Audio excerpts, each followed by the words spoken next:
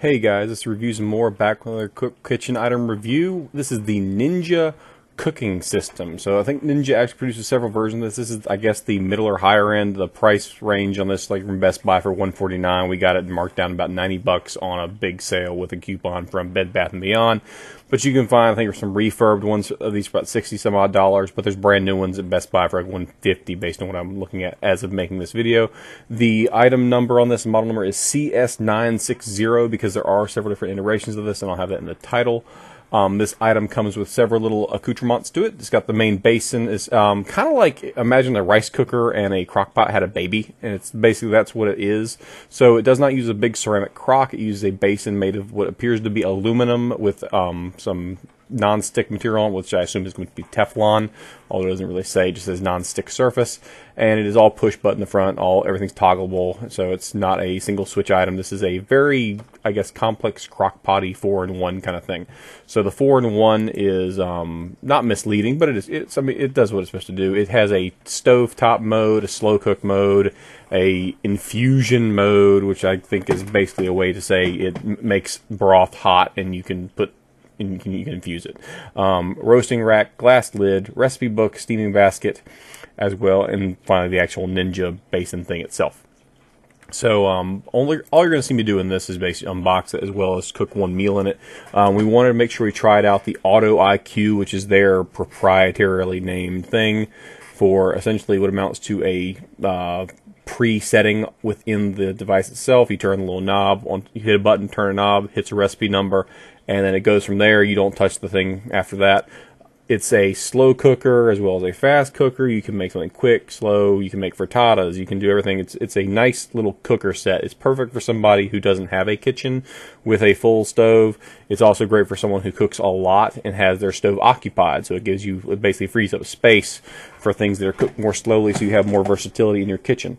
So it's it's it's got a good bit of versatility to it. So this is just some uh, sweet sweet uh, chili, uh, really stir fry, sweet chili fast cook basically.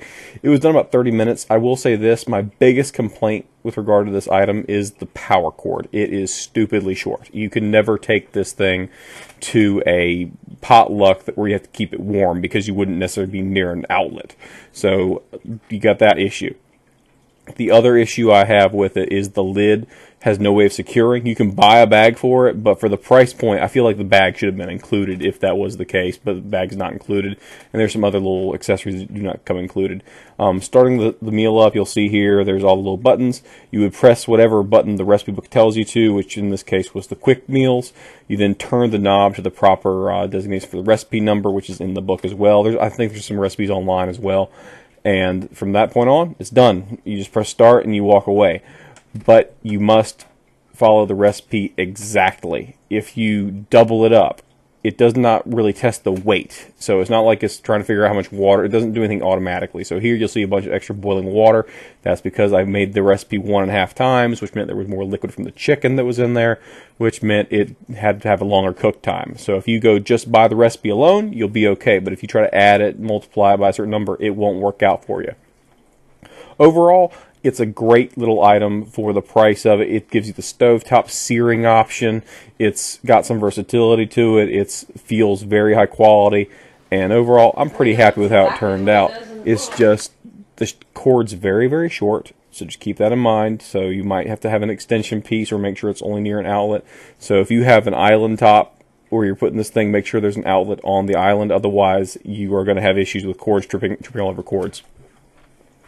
But the biggest thing for me was probably the cord length. That's just that's just the biggest. Why skimp there on that?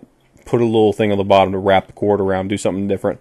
Um, this is the only recipe I've tried so far as making this video. I'm going to try the frittata recipe because that looks interesting.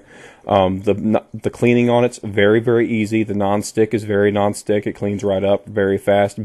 All the liquid that goes in there beads up like it's on a freshly cleaned uh, glass windshield. Just beads right up, rolls right off of it, so it's very non-stick. If you're not a fan of Teflon, that's what they use, so you're not really able to do much. So make sure you, every utensil you put in there is plastic or silicone or some or, or rubber. That you don't worry about damaging it. Other than that, it's a good buy. Um, I'd make sure you look for it on sale because these things go on sale all the time. I wouldn't pay full price for it. If it were 150, I probably wouldn't have bought it. But for the 90 bucks for Ninja, and we have other Ninja products, I think it was worthwhile. But overall, I'm I'm happy with the purchase. It's not the be all and end all, but it does a great job cooking, and it has some versatility beyond just being a slow cooker. So you can ha- you don't have to wait on your food. You can just cook there quickly and not have so much cleanup and not have to worry about wiping down an entire countertop or a stove top do a splatter or anything else. That's kind of nice. So it's a good convenience item. And that's my overall review. Good, but don't pay more than 100 bucks for it. They go on sale too often. Have a great day.